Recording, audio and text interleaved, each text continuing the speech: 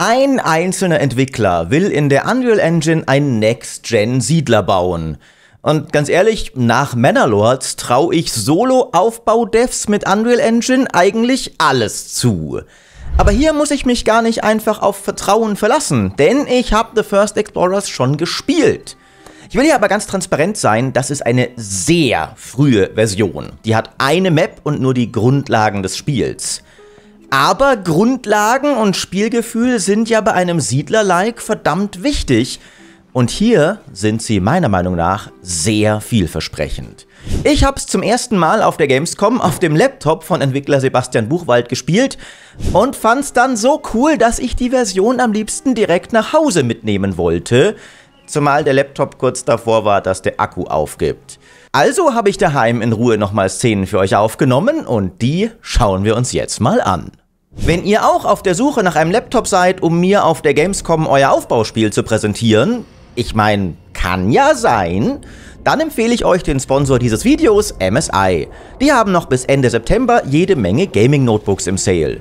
Ich nutze seit Jahren den Raider und habe damit sogar schon aus einem Gaming-Café in Tokio Diablo 4 gestreamt, kann also dafür bürgen, dass die selbst absurderen Ansprüchen standhalten.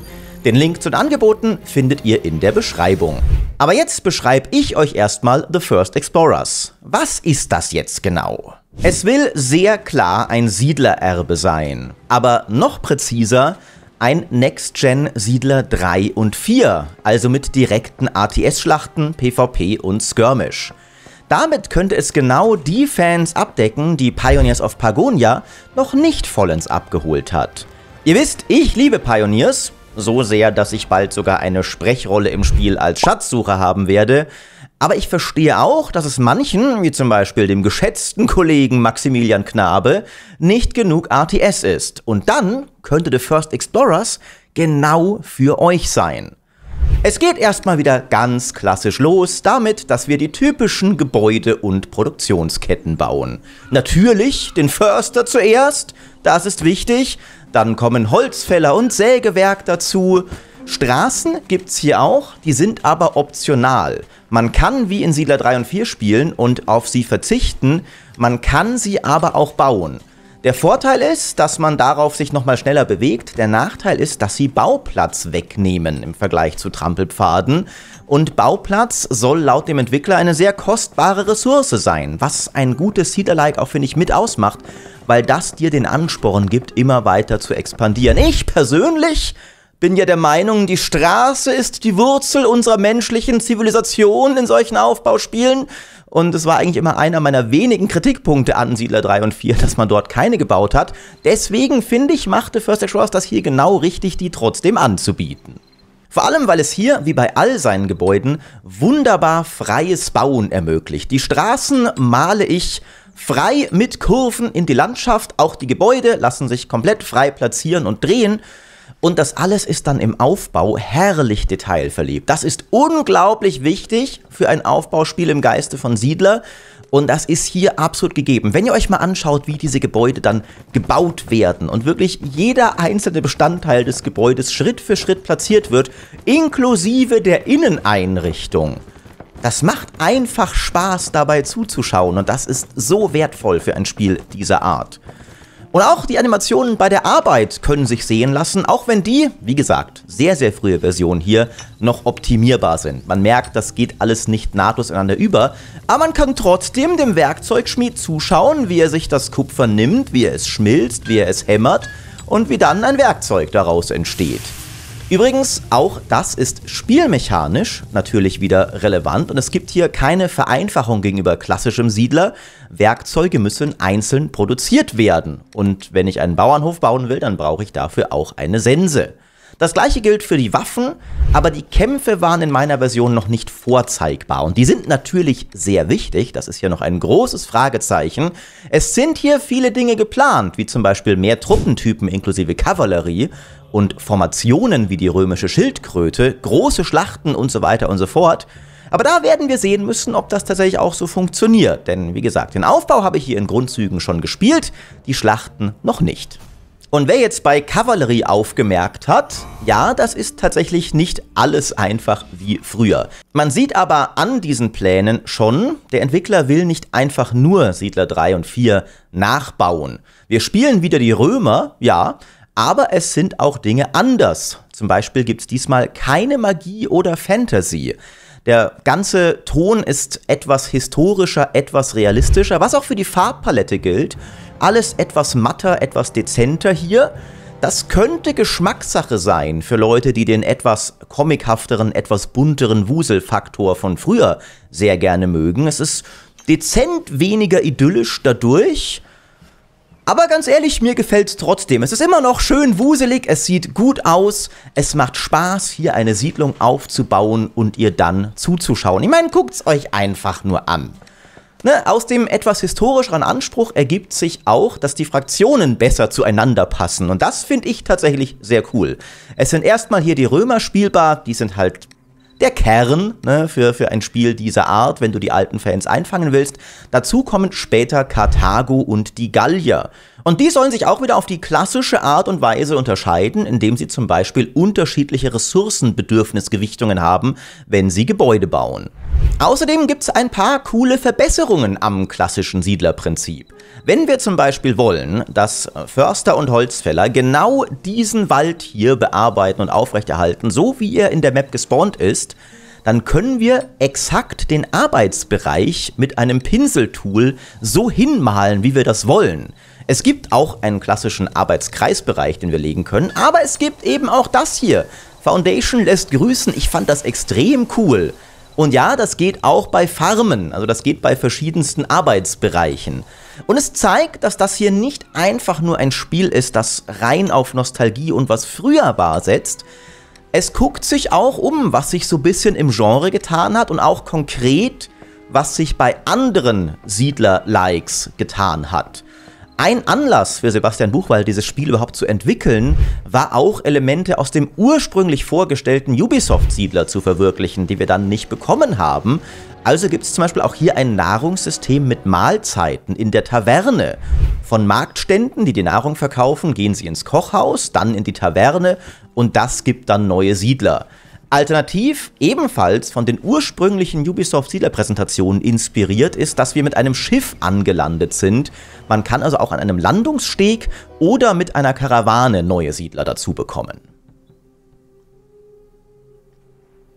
Außerdem kann die Nahrung als Produktionsboost dienen, aber nicht indem sie irgendwie Güter verdoppelt oder sowas, sondern wenn ein Produktionsgebäude mit Nahrung versorgt ist, dann macht der Arbeiter weniger Pausen zwischen seinen Produktionsaufgaben und produziert damit in der Praxis mehr, was dezent noch etwas realistischer ist und die Leute noch mehr knechtet, was ich natürlich sehr gut finde. Vielfältigere Nahrung, also mit mehr Zutaten, bringt hier dann auch mehr. Außerdem werden natürlich auch Minen Nahrung brauchen. Und hier sehen wir, dass auch da das Siedlerprinzip etwas weiter gedacht wird mit coolen neuen Features. Denn im Trailer gab es schon Minen an einem Berghang zu sehen, inklusive Leitern und Klettergerüsten. Die konnte ich noch nicht selber bauen, aber offensichtlich existieren zumindest schon Grafikassets dafür. Dazu soll kommen, dass wir auch Waren flussabwärts transportieren können sollen.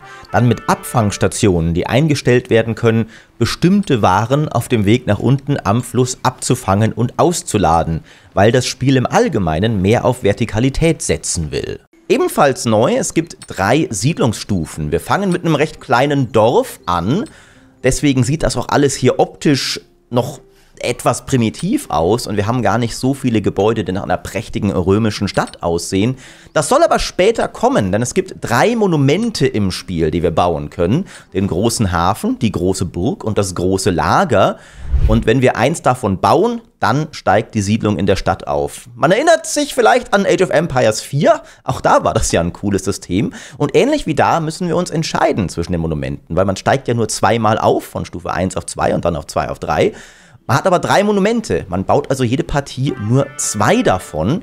Und die unterschiedlichen Völker sollen auch unterschiedliche Monumente besonders priorisieren. Zum Beispiel die Karthager als bekannte Handelsnation haben vom großen Hafen dann vielleicht mehr Vorteile.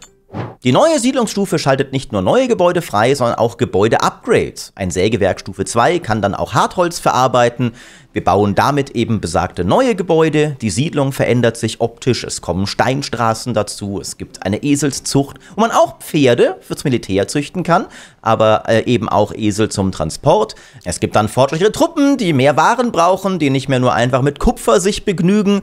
Später braucht man vielleicht sogar Gold für Verzierungen, ne? weil ein, ein Soldat von Stand hat ja Ansprüche. Und besonders interessant, es soll dann sogar Steinmauern geben, auf denen man auch Truppen platzieren kann kann und die man mit Belagerungswaffen zu Fall bringen kann. Nun muss man dazu ganz klar sagen, das klingt schon, als hätte sich der gute Mann hier eine Menge vorgenommen. Gerade für einen einzelnen Entwickler. Man hat bei Manorlords zwar gesehen, wie viel ein Entwickler, mit etwas Unterstützung im Fall von Manorlords, aber trotzdem auch lange Zeit erstmal nur ein Entwickler, wie viel so jemand bewirken kann. Man sieht aber auch, dass das gewisse Grenzen hat, was die Entwicklungszeit angeht. Bis Manalords zu seinen größeren geplanten Features wie Städten mit Mauern kommt, scheint es noch zu dauern. Und das ist auch okay die sollen sich Zeit nehmen, das gut zu machen. Es ist äh, bereits ein tolles Spiel. Ich gönne ihnen das. Das soll keine Kritik sein. Aber auch bei First Explorers muss man eben noch sehen, wie diese Sachen dann tatsächlich umgesetzt werden, wie gut sie dann sind, ob alles davon überhaupt klappt. Pläne können sich auch ändern. Und es sind auch noch grundlegende Sachen offen, wie zum Beispiel, wie gut wird denn der Kampf und der RTS-Part. Aber der Kern der Aufbaufaszination, der ist schon voll da. Das freie Bauen fühlt sich toll an, man baut etwas Schönes und hat Spaß, dem zuzuschauen. Man hat diesen Drang weiter zu expandieren, weil man einfach eine größere, tollere Siedlung haben will. Und das ist, finde ich, das Wichtigste für so einen Prototypen. Das ist das wichtigste Merkmal, wenn du den spielst und denkst, boah, ich will mehr davon. Und so ging es mir. Deswegen finde ich dieses Projekt super spannend. Ich werde es weiterhin beobachten und wie gesagt, der gute Herr Buchwald soll sich die Zeit nehmen, die er braucht, das gut zu machen. Der Early Access sollte mal 2025 starten, darauf will er sich jetzt nicht mehr festlegen, was wie gesagt vollkommen okay ist. Wir warten also gespannt, wann es soweit ist. Ich werde das Spiel auf jeden Fall weiter im Auge behalten und wenn es Neues gibt, werdet ihr es hier erfahren. Deswegen Danke fürs Zuschauen und vielleicht auch mal auf Twitch vorbeischauen, wenn ihr wollt. Twitch TV Maurice Weber, denn da habe ich den guten Mann auch immer mal wieder im Interview, damit er uns Updates zum aktuellen Stand geben kann. Das lohnt sich übrigens auch besonders jetzt, denn am Freitag, den 27. September, haben wir das nächste große Twitch-Event bei mir geplant. Das Ränkespiel kehrt zurück. Mein altes Strategiespielformat, wo die gerissensten Strategen der deutschen Strategieszene sich miteinander messen. Diesmal in Crusader Kings 3 mit der neuen Erweiterung Roads to Power wird es um die byzantinische Kaiserkrone gehen. Und entsprechend lassen wir sogar eine tatsächliche Krone schmieden. In der Abtei Münster-Schwarzach entsteht gerade eine Dolchkrone für das Ränkespiel. Und ich bin immer noch absurd, dass Menschen mich sowas machen lassen. Wenn ihr das gerne in Aktion sehen wollt, wer die gewinnt, würde es mich freuen, wenn ihr auf Twitch vorbeischaut. Wie gesagt, Freitag, 27. September, 16 bis 24 Uhr. Ansonsten sage ich vielen Dank fürs Zuschauen und bis zum nächsten Video.